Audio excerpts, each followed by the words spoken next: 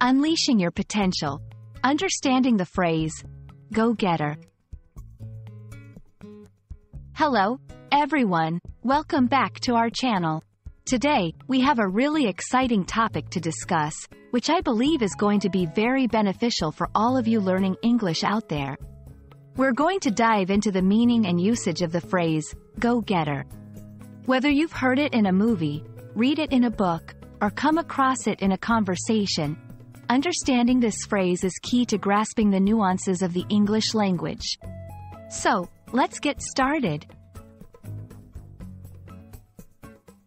The term go-getter refers to a person who is ambitious, energetic, and highly motivated to achieve their goals.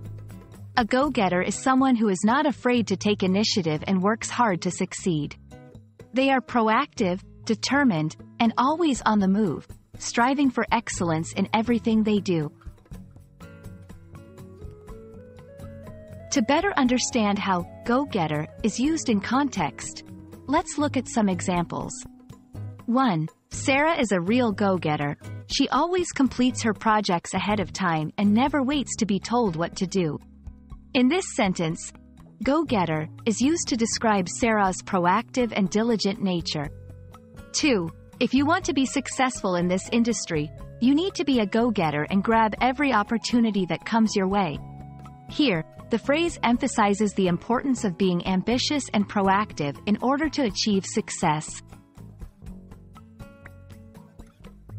So, what makes someone a go-getter? Here are some key characteristics. Ambition. A go-getter has a strong desire to achieve their goals and is willing to work hard to reach them. Initiative. They take action without needing others to tell them what to do. Determination. Go-getters are persistent and do not easily give up, even when faced with challenges. Energy. They have a high level of energy and enthusiasm, which they channel towards their goals. Incorporating go-getter into your vocabulary can help you express admiration for someone's drive and ambition. You can use it in both formal and informal settings. For example, in a job interview, you might say, I consider myself a go-getter, always ready to take on new challenges and push myself to achieve more. In a casual conversation, you could comment on a friend's work ethic, saying, You're such a go-getter, I really admire your determination. And that's a wrap on today's topic. Go-getter. I hope this video has given you a clear understanding of what it means to be a go-getter and how you can use this phrase in your daily conversations. Remember, being a go-getter is all about having the ambition and the drive to pursue your goals. And it's a great quality to have and to recognize in others.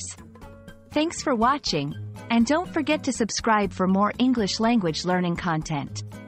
Until next time, keep practicing and stay motivated.